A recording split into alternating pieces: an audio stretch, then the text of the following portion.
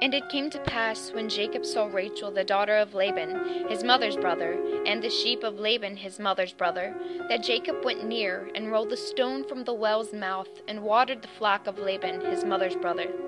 And Jacob kissed Rachel, and lifted up his voice, and wept.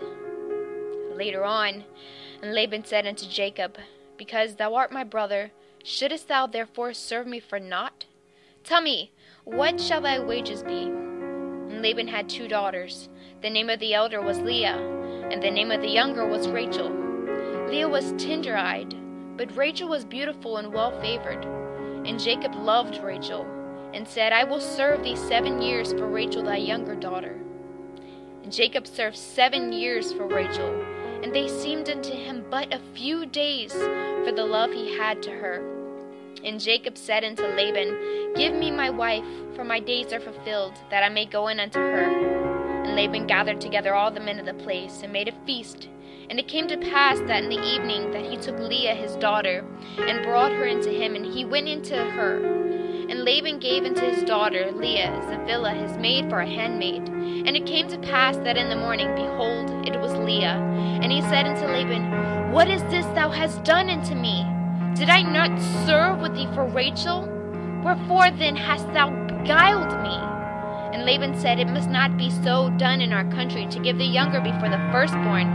Fulfill her week, and we will give thee this also for the service which thou hast served me, with yet another seven years. And Jacob did so, and fulfilled her week, and he gave him Rachel his daughter to wife also. And Laban gave to Rachel his daughter Bilhah, and his handmaid to be her maid. And he went in also unto Rachel, and he loved also Rachel more than Leah, and served with him yet another seven years.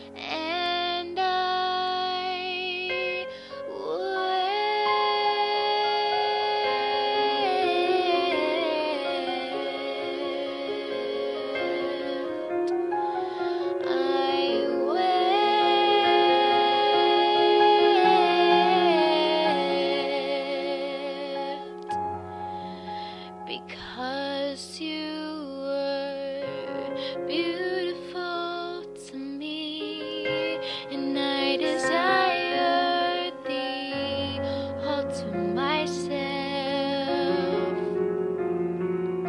So I asked of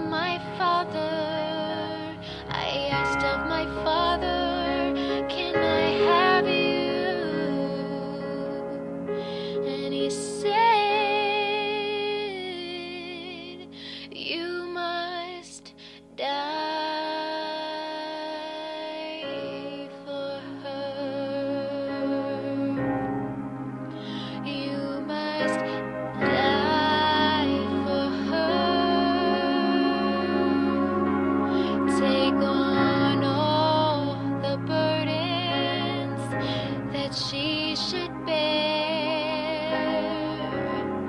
I loved her so much.